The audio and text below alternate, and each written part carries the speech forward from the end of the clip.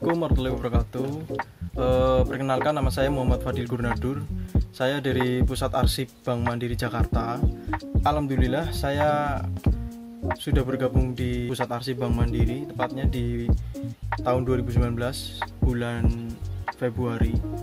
Saya juga alumni Universitas Diponegoro tahun 2014. E, pandangan saya terhadap e, museum, museum ini adalah rumah bagi koleksi banyak objek menarik eh, baik bersejarah atau unik. Ya, terutama Museum Bank Mandiri ini sebagai tempat di mana terdapat benda-benda yang pernah digunakan untuk keperluan kantor bank sejak zaman dahulu seperti brankas, stempel, kalkulator, lalu ada sepeda ontel, eh, lalu eh, bukti buku tabungan, yang jadul di Bank Mandiri, terus surat atau saham serta mata uang kuno. Jadi menurut saya museum sebagai cermin yang mampu mengantarkan masyarakat dari masa ke masa, e, juga sepatutnya mampu menjadi tempat yang lebih e, memberikan kesadaran terhadap masyarakat tentang arti pentingnya sebuah pelajaran sejarah maupun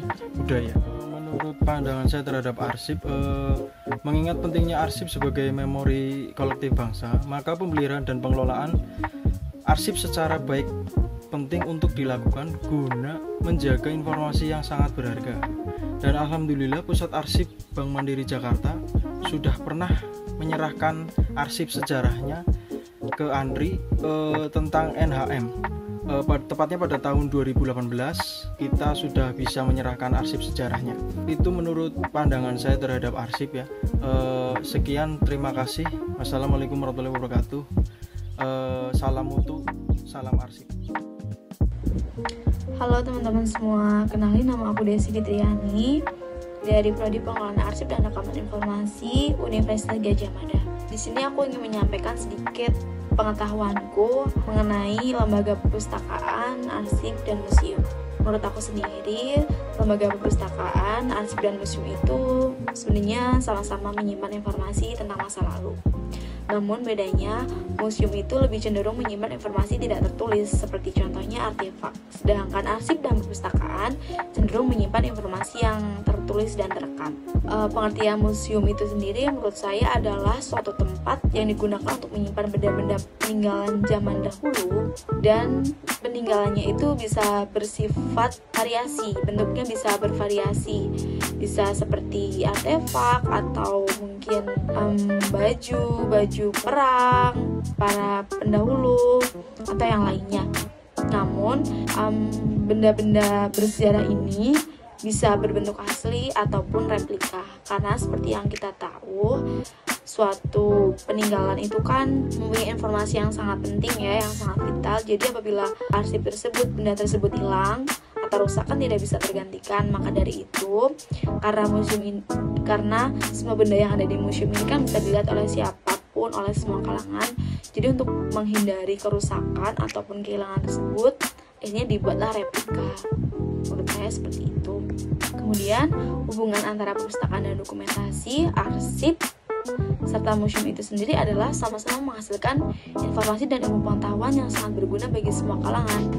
Hanya saja arsip itu hanya ada di satu tempat karena arsip lebih bersifat rahasia. Jadi tidak sembarang orang bisa mengakses arsip, hanya orang-orang tertentu, kecuali arsip yang bersifat publik ya, yang memang boleh dipublikasikan dan bisa diakses oleh siapa pun. Berbeda dengan um, dokumentasi dan museum yang cenderung sifatnya itu terbuka dan bisa diakses oleh siapa pun. Namun, museum, arsip, dan perpustakaan itu termasuk ke dalam ilmu dokumentasi karena memang um, apa yang ada di museum, arsip, dan perpustakaan itu sendiri memang hasil dokumentasi dari suatu kegiatan, rekaman yang didapat dari suatu kegiatan. Mungkin itu pengetahuanku kurang lebihnya. Mohon maaf dan terima kasih. Assalamualaikum warahmatullahi wabarakatuh. Nama saya Sandi Panutrianto dari Universitas Diponegoro.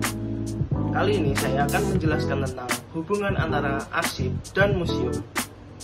Nah, arsip dan museum adalah lembaga yang mempunyai tugas yang sama, yaitu menghimpun informasi yang dilayangkan kepada masyarakat dan penggunanya dan mempunyai tujuan yang sama, yaitu menyediakan informasi untuk kepentingan pendidikan dan penelitian. Arsip sendiri adalah sebagai tempat menyimpan arsip yang berupa gambar, tulisan maupun elektronik yang dikeluarkan untuk informasi suatu instansi tersebut. Dan museum sendiri adalah sama-sama menyimpan suatu benda atau barang berharga dan penting yang digunakan sebagai tempat informasi dan ilmu pengetahuan yang bisa digunakan oleh seluruh masyarakat umum. Baik, terima kasih. Assalamualaikum warahmatullahi wabarakatuh.